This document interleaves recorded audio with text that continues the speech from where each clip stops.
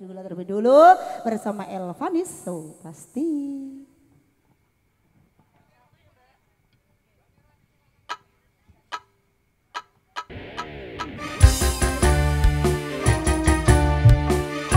Spesial juga buat bapak ibu yang mau request lagu boleh.